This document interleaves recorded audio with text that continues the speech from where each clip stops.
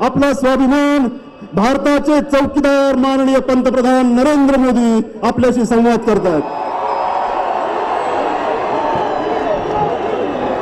मोदी मोदी मोदी मोदी. भारत माता की। भारत माता की। शिर्डी साईबाबाच्या सानिध्यात असलेल्या या नगरीला माझ्या नमन. महाराष्ट्र आणि अहमदनगरच्या सर्व बंधू भगिनींना उद्याच्या श्रीरामनवमीच्या खूब खूब शुभेच्छा. कुछ समय पहले जब मैं आपके बीच आशीर्वाद लेने आया था, तब आपने जितना प्यार दिया था, आज उससे भी अधिक स्नेह मैं इस समय महसूस कर रहा हूँ। और ये मेरा सौभाग्य है। मैं आज आप लोगों से चाहता हूँ, करूँ क्या? बुरा तो नहीं मानोगे ना? अरे चुनाव है भाई, कोई बुरा मान जाए तो मुसीबत हो जाए। बुरा नहीं मानोगे ना? करूँ शिकायत? पक्का? प्रॉमिस? देखिए, मैं पाँच साल पहले इसी तारीख को आपके बीच में आया था। लेकिन उस समय आधे लोग भी नहीं थे। और आज क्या कारण है?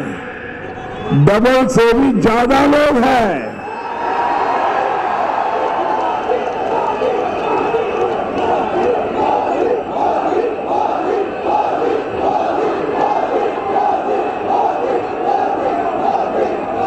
आपके इस प्यार को, विश्वास को मैं नमन करता हूँ। भाई और बहनों, वाकई आपने इतनी गर्मी में यहाँ आकर मुझ पर कर्ज और बढ़ा दिया है। साथियों, ये भूमि कब तपस्या की, सेवा की, श्रद्धा की, सबका साथ, सबका विकास की भूमि है। साईं बाबा का संदेश हो या फिर लोकमान्य तिलक का? स्वराज का संकल्प और अब सुराज्य के लिए हमारी यात्रा। इसी धरती ने ऐसे महान संस्कार देश को दिए हैं। आपके सहयोग से इन्हीं संस्कारों को मज़बूत करने की कोशिश आपके इस सेवक ने भी की है। बीते पाँच वर्ष में जन भागीदार से चलने वाली एक मज़बूत निर्णय लेने वाली सरकार दुनिया ने भारत में देखी है। उससे पहले दस वर्ष तक, याद है ना, दस वर्ष कैसे गए? रिमोट सरकार के दस वर्ष कैसे थे, याद है ना? हर दिन अखबार में खबरें क्या आती थी? हर दिन घोटाले, गपले, फैसले न लेना। सरकार को भी दुनिया ने अच्छी तरह परखा है। आज दुनिया भारत को महाशक्ति के रूप में अनुभव कर रही है। तो बीते पाँच वर्ष की आपकी मेहनत का परिणाम है। अब आपको तय करना है, जब इस बार आप वोट देने जाएँगे, आप देश का फैसला करने जा रहे हैं। देश किस दिशा में जाएगा, इसका फैसला करने जा रहे हैं। जब आपको तय करना है कि अब देश में ईमानदार चौकीदार चलेंगे या भ्रष्टाचारी नामदार।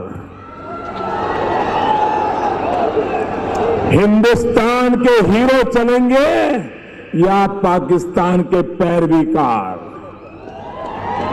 साथियों, एक तरफ़ कांग्रेस और एनसीपी की महामिलावट की खोखले वादे और दूसरी तरफ़ एनडीए की महायुति के बुलंद इरादे। पर अगर आप नज़र डालेंगे तो आपको तय करने में और आसानी हो जाएगी। जब कांग्रेस, एनसीपी की सरकार थी तो देश सिर्फ़ गाड़ी ही झेलता था। कभी मुंबई में बम धमाके, कभी यहाँ पड़ोस में पुणे में धमाके होते थे। आज आए दिन हम उस समय बम धमाके देखते थे। आए दिन होते रहते थे। कभी ट्रेन में धमाके, कभी बस में धमाके, कभी स्टेशन पे धमाके। उन बम धमाकों में कौन मरता था? इन बम धमाकों में कौन मरता था?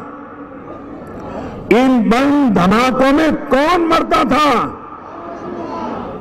हमारा किसान, व्यापारी, विद्यार्थी, नौकरी पेशा, मजदूर, यानी हर किसी की जान पर संकट था। पाँच वर्ष में आपने इस चौकीदार की सरकार भी देखी है। अब वो बम धमाके कहाँ गए?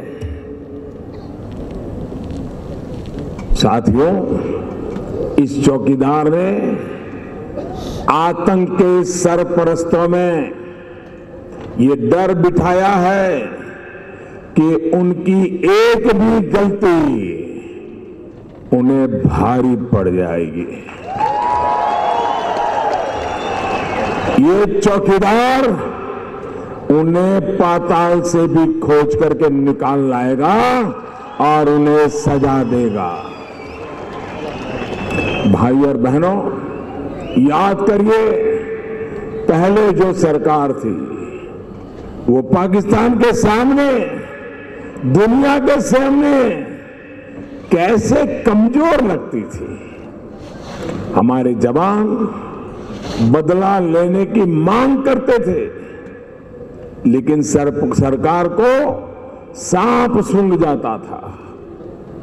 चौकीदार की सरकार पाकिस्तान में आतंकियों के घर में घुसकर मारने के लिए अपने सपूतों को इजाज़त देती है।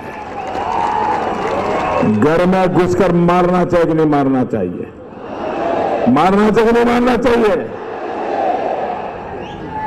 अब भारत ने दुनिया के सामने दुहाई देना बंद कर दिया है। मुझे बताइए, आप इस मज़बूत भारत से खुश हैं? घर में घुसकर आतंकियों को मारना की नाते आपको मंजूर है? भाई और बहनों, आप तो खुश हैं, लेकिन उनका क्या करेंगे? जिन्होंने बरसों पहले देश की भावनाओं को समझना ही छोड़ दिया। साथियों, इस बार तो हद ही हो गई है। कांग्रेस, एनसीपी ऐसे लोगों के साथ खड़े हैं जो कह रहे हैं कि जम्मू कश्मीर को भारत से अलग कर देंगे। जम्मू कश्मीर में अलग प्रधानमंत्री बना देंगे। मुझे कांग्रेस के लोगों से कोई उम्मीद नहीं है, क्योंकि ये पाप उन्हीं की पैदावार है। लेकिन मुझे समझ नहीं आता है कि शरदराव पवार को क्या हो गया है।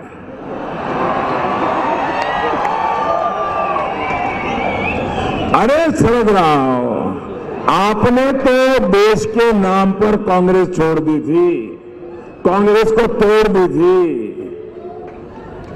अब देश में दो प्रधानमंत्री होने की बात पर आप कब तक चुप रहोगे, कब तक चुप रहोगे?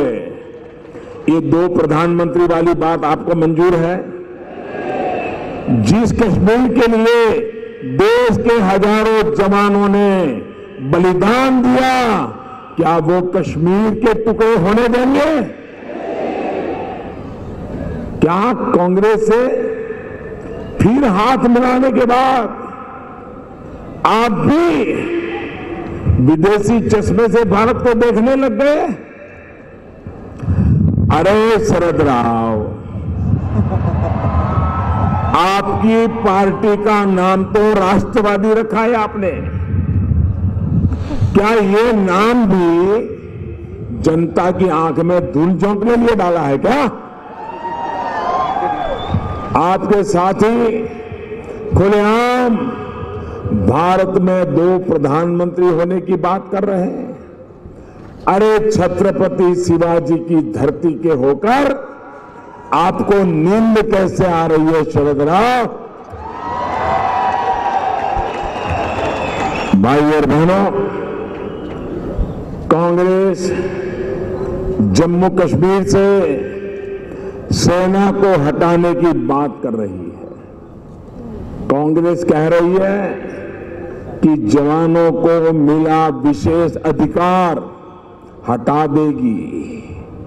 मैं महाराष्ट्र और देश के फ़र्स्ट टाइम वोटर से भी पूछना चाहूँगा, जो पहली बार 21वीं सदी में पैदा होने के बाद इस बार देश की सरकार के लिए वोट देने के लिए जाने वाले हैं, जिन्होंने 18 साल पूरे किए हैं, मैं उनसे अपील करना चाहता हूँ, क्या देश की सुरक्षा पर पहले की सरकारों का कमज़ोर रवैया, ये मेरे नौजवानों को मंजूर है? मंजूर है? क्या राष्ट्रीय सुरक्षा से समझौता इन लोगों को मंजूर है?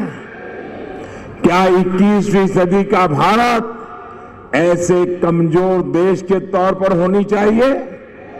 भाई और बहनों, जब देश सुरक्षित रहेगा तभी हर देशवासी का हित भी सुरक्षित होगा। देश का भविष्य सुरक्षित होगा। मुझे खुशी है कि पूरा देश राष्ट्र रक्षा के लिए एक सुर में बात कर रहा है। यदि विश्वास मेरी ताकत रहा है, जिसके दम पर मैं बड़े और कड़े फैसले ले पाया बड़े संकल्पों को पूरा कर पाया। साथियों, पिछले पाँच सालों में महाराष्ट्र के लाखों गरीबों को अपने पक्के घर घर घर मिले। हर घर में बिजली मिली। घर घर में शौचालय बने। और हमारी माता बहनों के मुझे विशेष आशीर्वाद है। ऐसे परिवारों में जो गैस के चूल्हे के लिए इंतज़ार करते थे, एलपीजी गैस का कनेक्शन भी मिल गया। ये तभी संभव हो पा रहा है क्योंकि आपने ईमानदार सरकार को वोट दिया, जो हमारे गुमंत समुदाय है।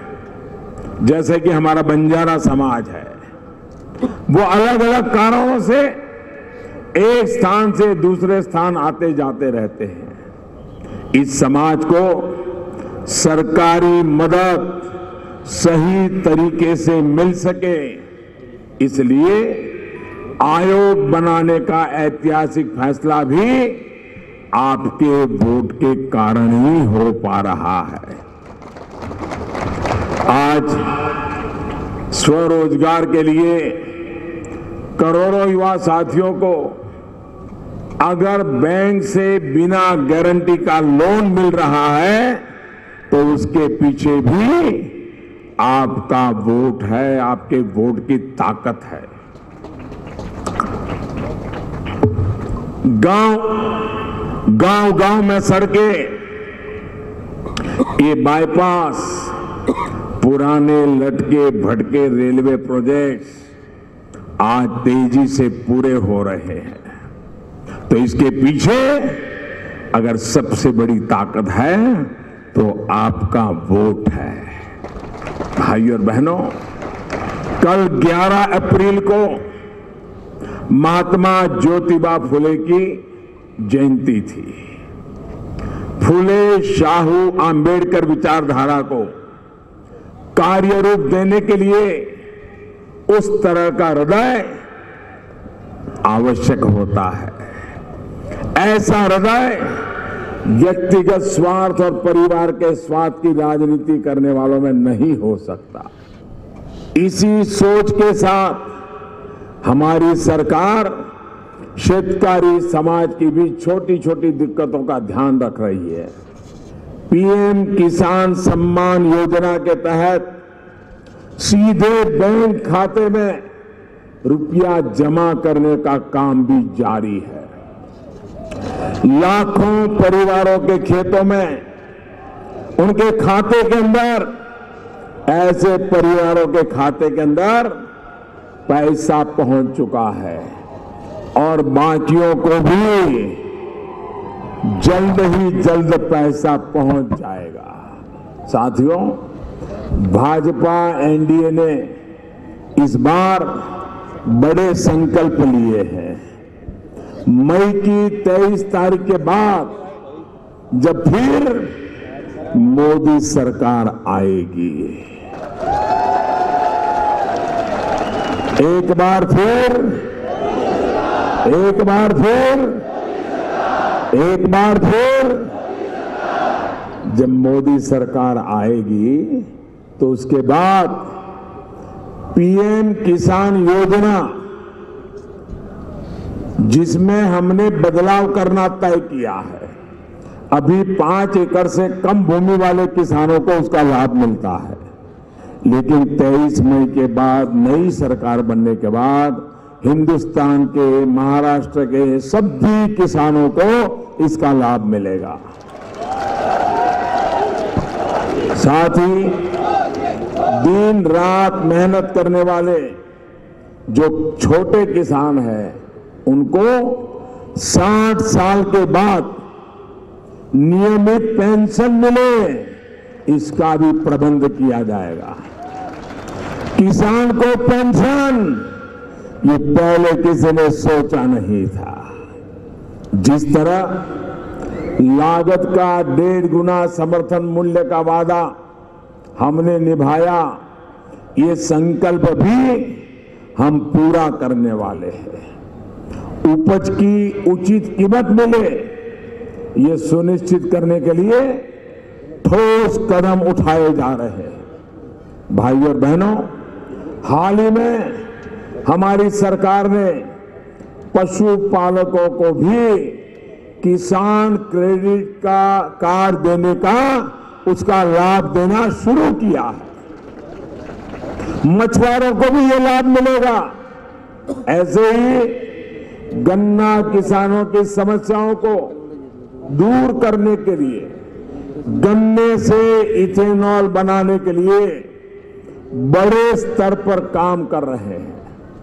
देश भर में इसके लिए प्लांट लगाए जा रहे हैं। भाई और बहनों पानी को लेकर इस एनडीए की सरकार का काम आपके सामने है। देवी अहल्याबाई होलकर ने जिस तरह गाँव गाँव कुएँ और बावड़िया खोलने का अभियान छेड़ा था, उसी तरह यहाँ की हमारी सरकार भी काम कर रही है। हमारा प्रयास है कि नदियों का पानी जो कोंकण के समुद्र में बह जाता है, उसका सदुपयोग हो, किसान को पानी मिले। इसके लिए फिर एक बार जब मोदी सरकार बनेगी, फिर एक बार, फिर एक बार, फिर एक बार जब मोदी सरकार बनेगी तो एक विशेष जल शक्ति मंत्रालय बनाने का संकल्प हमने लिया है। सिर्फ़ पानी के लिए एक अलग मंत्रालय होगा। अगर पानी की समस्या का समाधान करें तो किसान को कभी समस्या पैदा ही नहीं होगी। इसके माध्यम से देश की नदियों का या समंदर का पानी कैसे कैसे उपयोग में लाया जा सकता है, टेक्नोलॉजी के द्वारा लाया जा सकता है, डिसलिनेशन किया जा सकता है, इसके लिए काम किया जाएगा। साथियों एक तरफ़ हमारे संकल्प है, वहीं दूसरी तरफ़ कांग्रेस एनसीपी के ढकोसले हैं। एक तरफ़ पानी के लिए महायुति सरकार के काम है तो दूसरी तरफ़ कांग्रेस सरकार में हुए घोटाले और अजीत परिवार के शर्मनाक बयान है। ऐसे ही अपराधों की वजह से देश के लोगों ने कांग्रेस का मन और कांग्रेस की नीयत को अच्छी तरह जान लिया है, पहचान लिया है। और इसलिए अब जनता ने ही नया नारा दे दिया है। कांग्रेस हमेशा के लिए हटाओ। कांग्रेस हमेशा के लिए हटाओ, तभी देश में गरीबी दूर होगी। कांग्रेस हटाओ, तभी देश आगे बढ़ेगा। कांग्रेस हटाओ, तभी देश में आधुनिक इंफ्रास्ट्रक्चर का निर्माण होगा। कांग्रेस हटाओ, तभी देश में सबका साथ, सबका विकास हो पाएगा। कांग्रेस हटाओ, तभी देश में घोटाले और भ्रष्टाचार से भारत मुक्त हो पाएगा। भाई और बहनों, इस बार आपका एक एक वोट महायुति के समर्थन के साथ ही कांग्रेस और उसके साथियों को सजा देने के लिए भी होना चाहिए। याद रखिएगा, ये भारत को लूटते रहे हैं, महाराष्ट्र को लूटते रहे हैं। ये लोग गरीब किसानों के दुश्मन है, महाराष्ट्र की जनता के दुश्मन है। हर देशवासी की आकांक्षा उनके लिए आँख में खटकती है। इस चुनाव में भी कांग्रेस ने जिस तरह तुगलक रोड चुनावी घोटाला किया है, वो देश देख रहा है। हमारे नौजवान वोटर देख रहे हैं।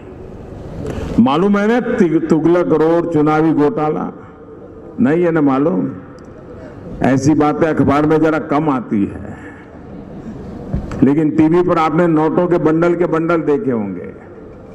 तुगलक रोड दिल्ली के अंदर एक रोड है। उस पर एक बड़ा शानदार बंगला है। उसमें एक नेताजी रहते हैं। और वहाँ कैसे कैसे खेल खेले गए, उसका कच्चा चिट्ठा निकल करके बाहर आए और क्या है? मध्य प्रदेश से बोरे बोरे भर करके रुपये वहाँ आए। और जो पैसा गरीब बच्चों को कुपोषण से बचाने के लिए मध्य प्रदेश सरकार को भेजा गया था, वो पैसा लूटकर कांग्रेस चुनाव में लगा रही है। ऐसे भ्रष्टाचार को माफ़ करेंगे? क्या भ्रष्टाचार को सहन करेंगे? अभी तो मध्य प्रदेश की सरकार अभी अभी बनी है। और इतने दिनों में उन्होंने बिल्कुल चारों तरफ़ से जमा करना शुरू कर दिया। उनकी आदत जाती ही नहीं है। दिल्ली के तुगलक रोड में बोरा भर भर के मिल रही नोटों की गड्डियाँ कांग्रेस की असली पहचान है। भाइयों बहनों, ये चौकीदार चौकन्ना है, ये चौकीदार ईमानदार है। और तभी तो इन चोरों को पकड़ गए, पकड़ पाया। भाई और बहनों, इतिहास साक्षी है कि भारत में स्वराज की परिकल्पना सबसे पहले छत्रपति शिवाजी महाराज ने की थी। मेरी आकांक्षा है कि स्वराज्य स्थापित करने के एनडीए के काम को आगे बढ़कर शिवाजी महाराज के सपनों को पूरा करने के लिए पूरी ताकत से जुट जाएँ। महाराष्ट्र के सभी साथियों से मेरा आग्रह है कि केंद्र में मुझे मज़बूत करने के लिए कमल के निशान पर बटन दबाइए जहाँ हमारे महायुति के मेंबर लड़ रहे हैं धनुष बाण उनके लिए बटन दबाइए और जब आप कमल पे बटन दबाएँगे, धनुष पर बटन दबाएँगे। आप विश्वास रखिए, वो वोट सीधा सीधा मोदी के खाते में जाएगा। आपका एक वोट इस चौकीदार को मज़बूत करेगा। खोटी नियत वालों को दूर करेगा। अब आप एक संकल्प लीजिए। मैं बोलूँगा उसके बाद आपको भी बोलना है। बोलेंगे? बोलेंगे? आपको बोलना है, घर घर में चौकीदार। क्या बोलेंगे? घर घर में चौकीदार। बोलेंगे? पूरी ताकत से बोलेंगे। दोनों मुट्ठी बंद करके बोलेंगे। इधर वाले भी बोलेंगे, ये भी बोलेंगे, पीछे वाले भी बोलेंगे, ये मंच वाले भी बोलेंगे, सब बोलेंगे। भ्रष्टाचारियों होशियार। भ्रष्टाचारियों होशियार। भगोड़ों पर कानून की मार। बंद हुआ काला कारोबार। देश देशद्रोहियों पर कड़ा प्रहार। आतंक पर आखिरी बार दुश्मन हो जा खबरदार। घुसपैठिए भागे सीमा पार। टूटेगी जात पात की दीवार। वंशवाद की होगी हार। दागदार पे भारी कामदार। बहुत बहुत धन्यवाद। मेरे साथ बोलिए, भारत माता की। भारत माता की।